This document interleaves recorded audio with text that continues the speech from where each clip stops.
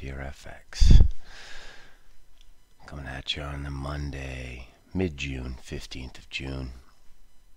Risk off today, as you can see. Here's the ES chart.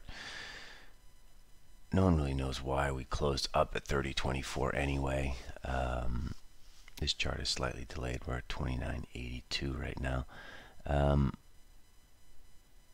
but we opened back down 2970 fears of a second wave of covid fears uh, that china is going to kick the us when they're down fears about trump's health a lot of fear out there. We saw that uh, speech at west point from old trumpy. Didn't look super robust out there i must say. Um, although a glass of water can be heavier uh, than it looks, I suppose. Um, anyway, whether you like him or not, if he's out the door, stocks go lower, taxes go up. Uh, so this is also more fears that the uh, U.S. stock market has to digest. So we opened at 69, spooked a few uh, shorts, back up at 93. Now we're a little, we're just we're just teasing this here. This is an important, on my prep for the week, this was like the important moment, 2970. Um, let's just look at it this way. Price below 2970, we're core short. You can use 3006, which is a 200 day as your stop.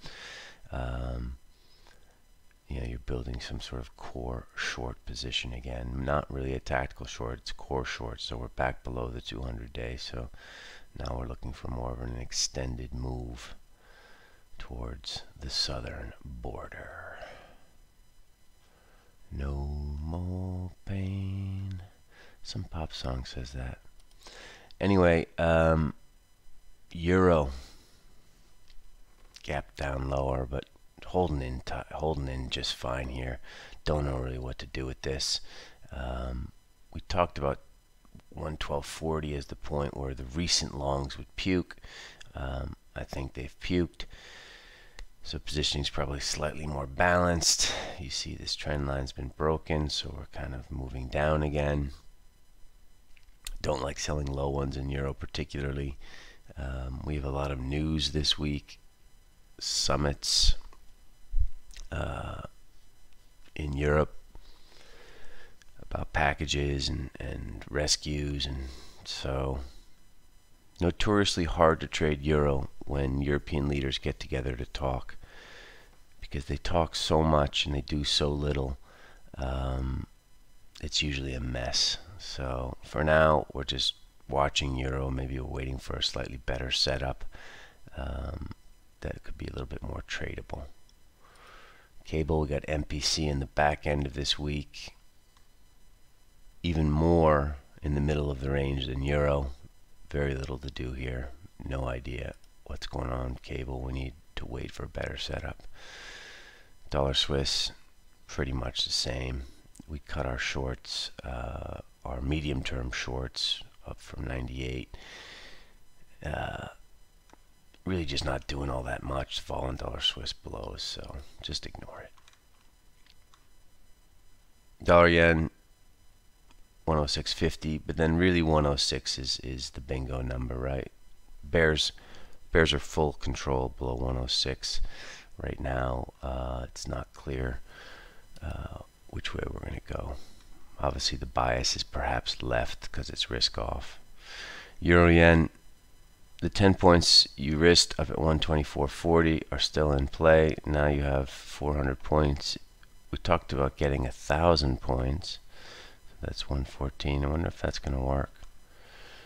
We of course do not own that trade anymore, but on paper that's a good one. Should be some support here at 120 the figure, but euro yen also uh, at risk for lower in this sort of risk off world sterling yen, as you can imagine, exactly the same chart. Um, dollars are higher, right? I mean, we traded up to 30 the other day. This is a pivot. This is interesting, but it looks a little bit like a trap break because of these um, these lows here. So I don't think this is a pure break trade or anything. It's actually probably likely to just put a double top up there. So if you're a seller, interesting risk reward. If you want to sell it up here, we are not sellers of dollar rand. Um, if you're a buyer, I think just wait, wait and see. And if you do print a double top and then you come off, it'll be a nice launch point um, for some new fresh longs. Euro Swiss, I don't understand. We tried to get short a little bit of this on Friday. Didn't really want to go down all that well. There's somebody at 108.90, uh, or there was on Friday. You could see it on the on the liquidity on our on the ladders. Um, be careful. I, you know, whenever you see a big bid in Euroswiss, you immediately think SNB, but it makes no sense that they would be there. Um, could be, just be someone taking back shorts, some smart ass who sold up at 109. Um, Euroswiss is not playing correctly, so maybe just avoid it. Aussie sell uh, through 68 looks interesting. Um, core short looks interesting. It is pretty hectic, right? We did a 120 point bounce on Friday. Um, we have gap down lower. It's just matching the S&P chart. So, I mean, maybe you're not so comfortable trading S&Ps. Maybe you don't have access to the CME, Aussie, um, and Aussie yen also is just a it's a proxy for for the S&P. Pretty good, pretty good proxy these days. Dollar CAD, same deal. Um, didn't quite get to this 136.66, the old triple six. Um, not too much to do there. Gold is of interest this week. I do think um, this thing's going to go. What the trigger is going to be, I don't know. Maybe it's massive risk off. Uh, we're waiting. 1776. U.S. independence. Yippee-ki-yay. motherfucker. Uh, and Bitcoin, just waiting, waiting for 10.5 to break. You want to accumulate this stuff on low ones. If you're just starting to accumulate, 9100 is not your number. Uh, you know, wait for 8100 or 8400 on some idiotic uh, low liquidity move. Um, and dip your dip your toe in. Uh, as as you can see from the first seven minutes of this call, if you didn't trade the open, um, and if you didn't stay core short or stay core short from Friday, there's not a lot to do tactically. The charts are a little stretched. There's some gaps. Things are right in the middle.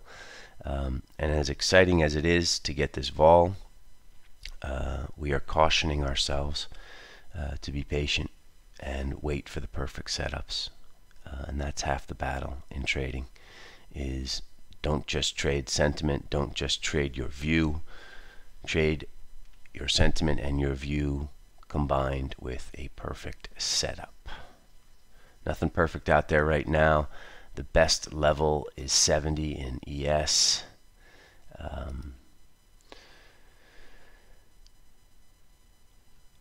This is delayed. We're trading up at uh, 80 right now. So I'm going to leave you guys, see what happens at the open. Maybe they take an attack on this thing, uh, and we will trade it from there. Um, good luck, people. Be patient. See you tomorrow. Ciao.